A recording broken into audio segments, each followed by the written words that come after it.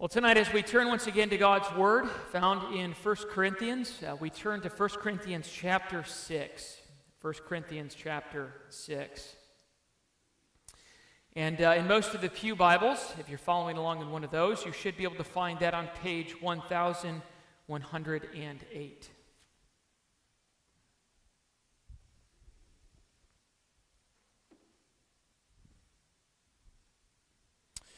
We're now going to be picking up steam a little bit as uh, we spent the first four chapters dealing with the single topic of the division over church ministers. And now Paul addresses a completely different division in the church, and that is lawsuits. In the church of Corinth, there were a number of people suing each other.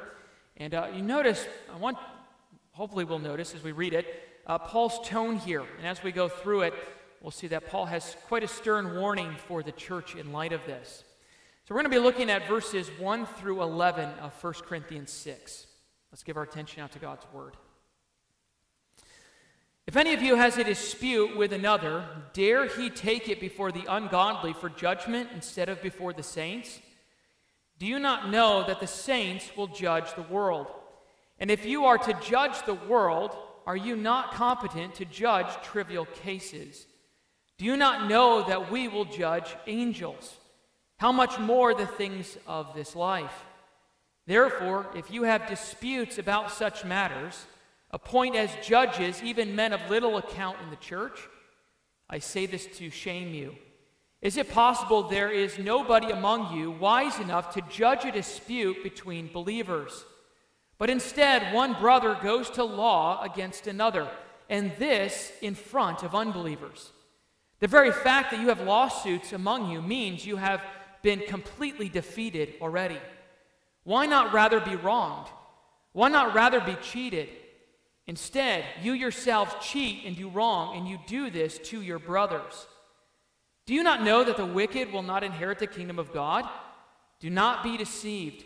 Neither the sexually immoral, nor idolaters, nor adulterers, nor male prostitutes, nor homosexual offenders, nor thieves, nor the greedy, nor drunkards nor slanderers, nor swindlers will inherit the kingdom of God. And this is what some of you were. But you were washed, you were sanctified, you were justified in the name of the Lord Jesus Christ and by the Spirit of our God. And there ends the reading of God's holy word. And let's pray now that God would bless our understanding and the application of this word. Let's pray. Our great God and our Father, indeed, as we close out your Lord's Day that you have given to us, Father, we thank you for one more opportunity to be fed by your word. Father, send your Spirit now that our souls would be richly nourished by this word, that we would be built up in the faith, that we would be instructed. And Father, as we go from here, even as such a text like this reminds us of the glory of the gospel, Father, we pray that it would impact us in such a way we would live differently in light of what Christ has done for us. And we ask this in Christ's name alone. Amen. Well, there's a saying that I've heard a few times in my life. I think many of us may be familiar with it, but the saying is as follows Don't air out your dirty laundry for your neighbor to see. Uh, don't air out your dirty laundry for your neighbors to see. The saying gets at uh, the fact that people hang their clothes on the line. Be very careful not to hang dirty clothes on the line because your neighbors will be looking through the window and they're going to see what you hang out there. And so before it goes out of the house, make sure it's clean. Well, the saying gets at the fact that there's just some things that need to stay within the family. Uh, there's some disputes, there's just some issues that, that need not go outside the walls of a home, but rather keep them within the family. In other words, things need to be dealt with not by outsiders, but by members of the family alone. Well, as we come to 1 Corinthians 6, Paul could say to the church in Corinth, Don't air out your dirty laundry for the citizens of Corinth to see. As we come to chapter 6, Paul is, in many respects, once again, deeply rebuking the church because they are going to court with one another, and Paul's main concern is that they're slandering the name of Christ because the church is not dealing with the problems within its own walls. Part of the rebuke of the text we need to understand tonight is that, that the church is not only competent to judge such cases, cases but they should. Because as spirit filled believers, we are the place that, that is able to bring reconciliation among members within the walls of God's own house. And so Paul here wants to correct them the wrongness of suing other members of the church, the wrongness of bringing other members to court, and the wrongness of bringing God's name in the courts of unbelievers and squabbling in front of them. And ultimately, as we end, Paul's main point of contention here is that their unwillingness to reconcile with one another is a contrary, uh, contrary living to the gospel. It shows that they are living contrary to the gospel they profess. Now, as we are reminded of the context, we are dealing with a church that, in many respects, has gone completely crazy. Uh, we've seen already a number of this, and it's only going to, in many respects, get a little bit more crazy. Uh, but Paul has already dealt with the divisions of the church, and, and last week we dealt with the fact that they were not disciplining a man in the church living in outward immorality. Uh, this was a church Paul had planted in Acts 18. It was a church that he loved dearly. It was a church living in a city filled with immorality and wickedness, and that wickedness was permeating the church. And in many respects, especially as we come to the text tonight, we see the church was living more like the world than they were living like the church. And that is where Paul needs to correct them. Now, I do want to point out one aspect of why uh, this is connected to the sermon last week, or, or the text rather. Uh, Paul does have a logical flow here. If you remember where we ended in, in chapter 5, verse 12, Paul said the church was not to judge the world, God was going to judge them. But they were to judge one another. They were to be assessing one another's fruits and judging those in the church. And that is why Paul brings this up. Because they were to judge that member and put him out, but also they were to judge one another with disputes. And that's why Paul brings this topic in where he does.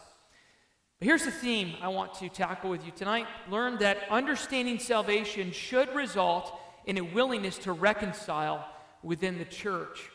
Understanding salvation should result in a willingness to reconcile within the church. And I have three points. They're just three points following the outline of the text.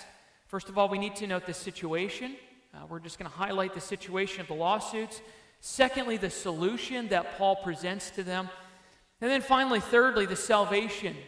The salvation that should cause them to live differently. So, first of all, then, the situation. What is the situation of these lawsuits? Well, look at verse 1 of chapter 6 as we can see a few details there.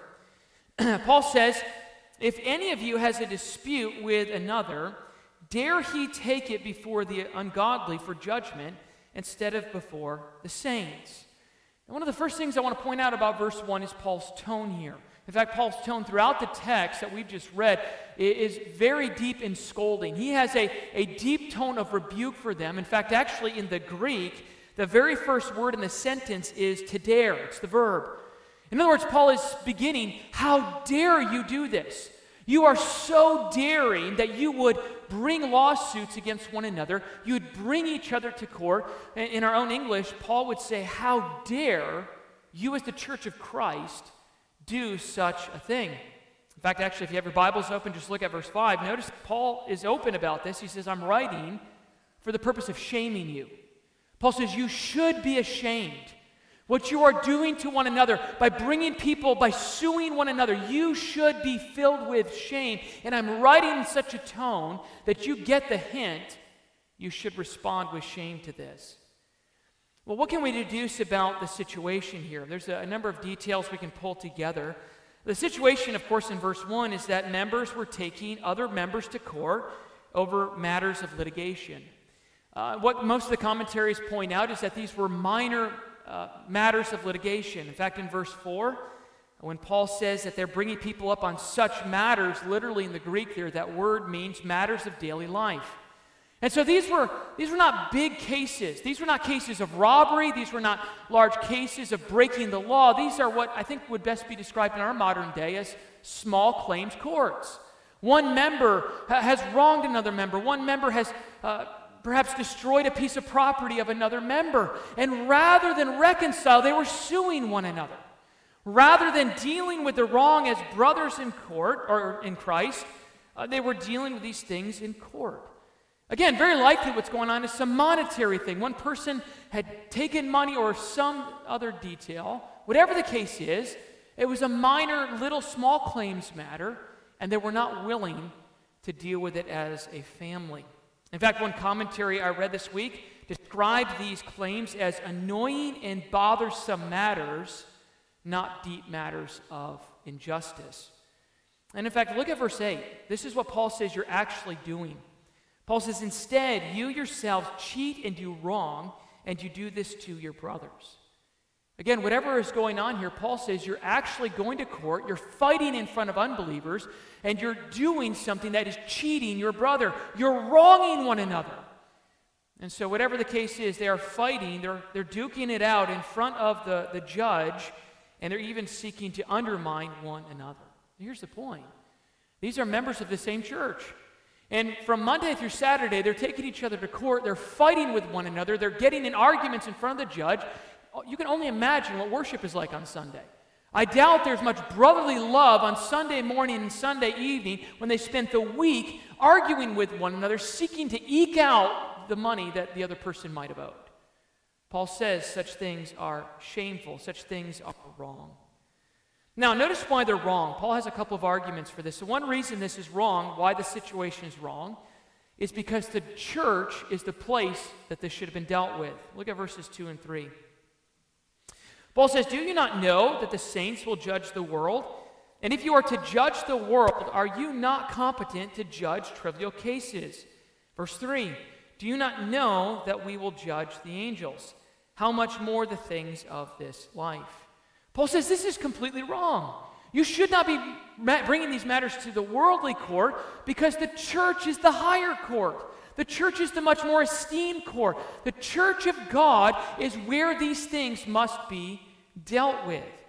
Paul says that the saints will judge the world. Uh, Paul is apparently referring to some end times or the, the end times when Christ will come back, that the saints will have a role, a participation in the judgment of the world. Now, if you're like me, you really wish Paul would give you a few more sentences on this.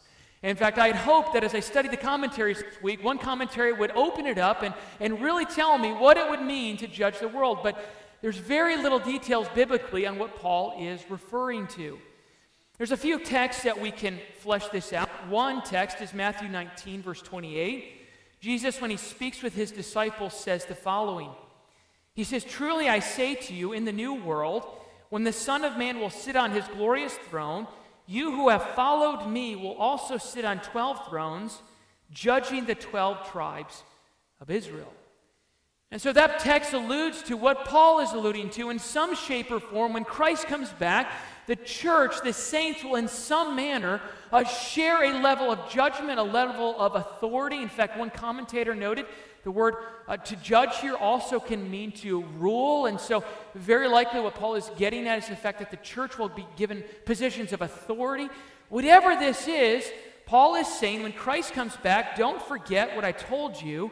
You, the church, will join him in the authority that has been given to him that he earned, and you will rule and judge over the unbelievers. And notice that they also will judge the angels. Even more mystery there. Whether that's the demons, whether it's the, uh, the faithful angels, whatever this is, Paul says this the church is the highest court because of Christ. You have been given the Spirit, and one day you will render verdicts. Therefore, why are you going to the world? And so I think here's the point. One commentary noted we should not get distracted by the mystery of this because the point is clear. Whatever the specifics are of what the church will do in judgment, Paul's point is obvious. If we will share a role in judgment on Judgment Day, we should be able to share a role in judging cases among members within the church. In fact, actually, look at your text again. Paul gets sarcastic with them. Look at verse 4 and 5 in light of this rebuke. He says, Therefore, if you have disputes about such matters, appoint as judges even men of little account of the church. I say this to shame you. Is it possible there is nobody among you wise enough to judge a dispute between brothers? Now, notice that last verse. Paul is getting a little feisty there. What was this church proud of? We've seen in the first four chapters that they were proud because they were holding on to worldly wisdom. And now Paul says, You who are so full of wisdom, you who think that, that I'm not wise enough to preach to you, why is there no one wise enough then to deal with these cases? Why you who church, who are so filled with wisdom, are sending members and are going to the world to eke out the judgment? Paul says, if you are truly the spirit filled church of Christ, do not take matters out of the church. Deal with them as a family, deal with them inside the church. And so here's Paul's point in a nutshell it is wrong to go to the world because the church is the higher court of authority in matters pertaining to the church. And therefore, these things need to be dealt with in house. And the last reason the situation is wrong is in verse 6 because it tarnishes the name of Christ. Paul says, But instead, one brother goes to law against another, and this in front of unbelievers. Paul says this is just completely wrong because you're brothers, you're siblings, you are brothers and sisters in the Lord, and rather than treat each other like brothers and deal with it as a family, you're taken to others, and notice who they are. They're unbelievers. Paul says you're losing your witness in the community. You are called to evangelize. You're to go to, to the unbelievers to preach a gospel of peace and love and forgiveness, and you can't even forgive one another. What does this say about the gospel? Paul is getting at. What are the unbelieving judges to think when you're fighting and bickering with one another over these minor matters of money? You're tarnishing the name of Christ. And so, Paul here is warning the church that what they're doing is completely wrong because they are the church. And so here's the point Paul is saying that the church in Corinth is bringing the world into the church's problems where it should not stick its nose.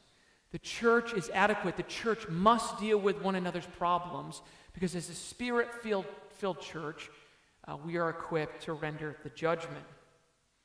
Now, notice, secondly, notice the solution. Paul has a word of solution to this church, which is completely countercultural. First of all, Paul wants them to admit that they're wrong. Look at verse 7. He says, The very fact that you have lawsuits among you means you have been completely defeated already. In other words, Paul says the fact that you're taking people to court already, you need to actually own up to the fact that you've lost already. And Paul's being playful here. Why are people taking their brothers to court?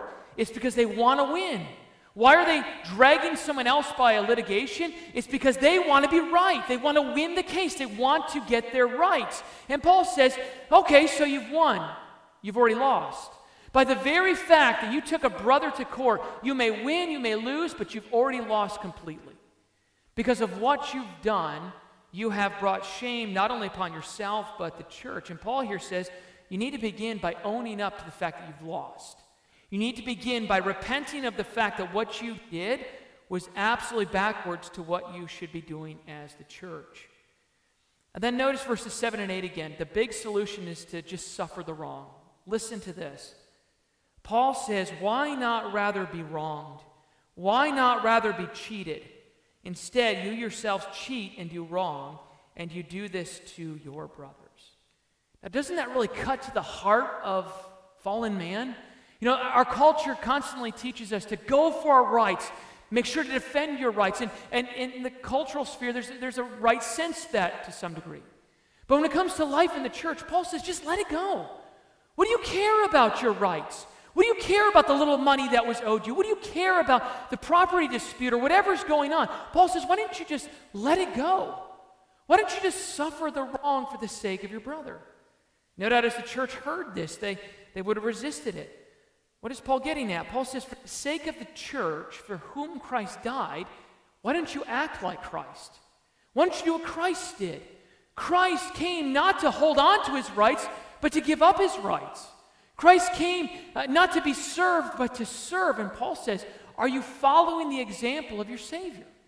When you hold on to try to get your just rights, you're living like the world. You need to live like Christ, who gave everything up for the sake of others. In other words, Paul says, You're living according to worldly wisdom. And you now need to change your mindset to live according to the gospel wisdom. Paul says, Give up the money you were owed. Give up the legal rights that you may be entitled to. Just eat the loss for the sake of love. And I think here's Paul's point, as he's going to make even more clear in a moment. Paul is saying that the church needs to act like their Savior and even suffer unju- injustice at times. The point is to consider the greater good of your brother and the love of Christ in the church, and even at times give up our rights. And here's the point what is the solution to the problem? The solution to the problem is a gospel solution. Turn around and give up. Suffer the loss. Turn to your brother and forgive them. Acknowledge that it might not have been right, but forgive the brother for the sake of being the church. Paul says, just give it up for the sake of the gospel. Now, I want to make a point here. What Paul is getting at is not that believers just give up all their rights and always be run over. Remember, there's a specific context here. For the sake of life in the church, Paul says, be willing to give up your rights for your brother. Therefore, you will settle the account.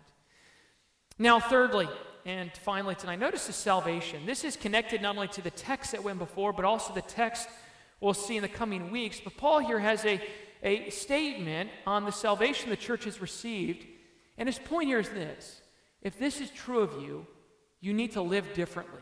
What is the salvation we've received? Notice the warning, first of all, of this salvation. He says in 9 and 10 Do you not know that the wicked will not inherit the kingdom of God? Do not be deceived, neither the sexually immoral, nor idolaters, nor adulterers, nor male prostitutes, nor homosexual offenders, nor thieves, nor the greedy, nor drunkards, nor slanderers, nor swindlers will inherit the kingdom of God. Notice that question again. Paul has been raising this question throughout the letter. Do you not know this? Paul is saying that because, of course, they should have known this. But by the way they're living, they're acting like they had forgotten this. Paul says, Do you not remember the gospel? Do you not remember the warning I came to you? That for those who live in unrepentant sin, for those who persist in living like the world, Paul says they will not inherit the eternal kingdom. Now, the connection to the lawsuits here is they're living like the world. Paul says, Why would you want to live like the world? That's where you came from. For those people who follow that mentality, they will not inherit the eternal kingdom of God. Now, what are these wicked sins? It, we don't have the time to go through them. There would be much profit in going through them. But notice Paul gives a list of sins here that were prominent in the church. One is sexual sins, uh, sexual immorality, adulterers, male prostitutes, and homosexuality. Sins of money, idolaters, greedy, and swindlers. Uh, people who are striving and idolizing money. I list sins of the heart and of the tongue, drunkards and slanderers. Uh, these are people who indulge in things of this world and things of the flesh. And Paul is just giving a simple, small list saying, for those who live like this, don't forget, congregation, God is a holy God. God is a God of complete justice. And for those who will not turn, do not forget the warning of the gospel. They will not inherit eternal life, but they will inherit eternal judgment for their sins. And so tonight, believers were reminded by God's warning to the church in Corinth as a warning to us as well, the sobering reminder of God's holiness, the terrifying reminder of God's justice to lost sinners. You know, even as I thought on the text yesterday, as I put the sermon together, I had to ask myself the question how often am I struck by the terrifying reality of judgment? Let me ask you the question How often are you struck by the terrifying uh, reality of judgment for those who don't repent? The gospel warning is that for those who do not run to Christ, there is eternal condemnation of just judgment in hell. And Paul begins his warning to this church, suing one another. Do you remember what God saved you from? You were not just a petty offender, you deserved eternal hell because of what you've done In fact, that's what Paul's going to go on to say. Notice the remembrance he wants them to have. Look at verse 11. I love this text. Paul says, And that is what some of you were. Paul says, Do you remember? Some of you were homosexuals. Do you remember? Some of you were swindling one another. Do you remember your past, Corinth? Do you remember who you were before I preached the gospel? You were on a path of eternal judgment. You were living a completely immoral life. Paul says, as you're suing one another, the problem is you've forgotten something. You've forgotten what Christ did for you. You've reverted to your old way of living. Now, notice verse 11. This is the sweetness of the gospel here. Paul says, and that is what some of you were, but you were washed, you were sanctified, you were justified in the name of the Lord Jesus Christ and by the Spirit of our God. Paul says, Why should you stop suing one another? because that's not who you are anymore. You're a new person. You're not like the world anymore. Christ saved you. Now live like it. And again, we don't have the time to go through each of these terms, but notice how Paul describes them. One, they are new people in Christ because they're washed. It's this imagery of the shed blood of Christ purging us from the dark filth of our sin. It's a reminder of the promise in our baptism that God will wash us just as water washes our body, that the sin and the guilt that we feel in us will be dealt with if we turn to Christ. Paul says you're new because you're sanctified. A word which describes holiness, a, a newness, a, a difference from the world, that they are saints. And if you remember to our very first sermon on this book, that's how Paul begins. As holy believers because of what Christ has done for them. Third description, they're new because they're justified. This is that beautiful teaching of justification by faith alone. It's a word which refers to the legal declaration of being declared not guilty because Christ bore the punishment. Paul says, Don't forget, Corinth, all the while you're being busy bringing one another to court, don't forget what Christ did for you. He stood before the judge of heaven and earth, and he bore the guilty consequence of your sin so that you, when you stand before him on Judgment Day, will be declared innocent. He says, Corinth, you've forgotten something. You've forgotten that Christ took your punishment while you're trying to bring punishment on your brother in the church. Here's the point tonight Paul is driving home that this is who they are by grace alone. And Paul says, I told you to give up your rights. Why? Because of all that Christ has done for you. In other words, Paul says, while you hold on to your brother with an iron fisted hand, don't forget Christ did not do that to you and you need to reflect the love of Christ. Turn and forgive and reconcile in the church. Here's the point tonight Christ's saving grace must cause us to live differently. We must be people willing to give up our rights for the sake of the church and be willing to reconcile with one another. Paul is saying that greedy and selfish actions are contrary to the gospel. And I think another way we can see this tonight. Notice how Paul wisely rebukes the church. He overwhelmingly heaps up the description of the gospel because it's only when we are amazed by what Christ did that we will willingly forgive one another. Isn't it true? When we're not amazed by the fact that God's own Son would willingly come to bear our hellish punishment on the cross of Calvary, until we're gripped with that, we will never be willing to give up our rights. But when you're gripped with that, you can look at your brother and sister and say, What of it? We are washed with the blood of Christ. Why would I hold this against you? You see, that's the point. The church is able to live differently when we are amazed by grace. And so tonight, as we close, just two brief thoughts of application. Two things. First application is obvious. One, we're learning tonight the church is able and must bring reconciliation among the members. I think it's one of the obvious applications. Paul says, don't take out of the church what belongs in the church. Christians, we are to reconcile with one another, and if need be, bring other brothers and sisters in to help us reconcile. Let our fights, our disagreements be hammered out in the church, be judged by spirit filled brothers and sisters, so that the church of Christ will not run the name of Christ through the mud. You know, one question that came up in light of this that I think we can answer is Does this mean that Christians can't bring other people to court? In other words, does this text forbid all lawsuits? And I don't think so. I think it forbids lawsuits among believers in the church. But uh, first of all, remember in our study of Acts, Paul made use of his legal rights as a Roman citizen. And so Paul's own example is in some cases he willingly was using his Roman citizenship. I think as well, there are cases of being wronged by an unbeliever, and there's no courts that an unbeliever will agree to except the courts of the world. And so for Christians, there needs to be spiritual wisdom in this matter. But I do believe that there are biblical times where a Christian is uh, permitted by Scripture to bring matters to a court. But I would say the text says for dealings in the church, it should not go there. It should not go to the courts and matters within the church. Second thing to leave you with tonight it means that being saved by grace is the way to give up. And as I noticed this, I got ahead of my notes already. But I want to end with grace again. We learned tonight that grace is the only way we will live like the church. It is the only way we will put off living like the world. And so, brothers and sisters, in light of that, let us remind ourselves every day of what Christ did for us. And let us remind ourselves that we are new people in Christ. Let us not live like the world, but let us live like the saints Christ died to make us to be. Amen. Let's pray. Our God and our Father, we are humbled tonight once again by your word and its exhortations. Father, we are people who cling to our rights. Father, we pray, humble us by the sacrifice of your Son tonight. Father, we pray, send your Spirit now that through your word we would more and more live the church that Christ has called us to be. And we ask this in Christ's name alone. Amen.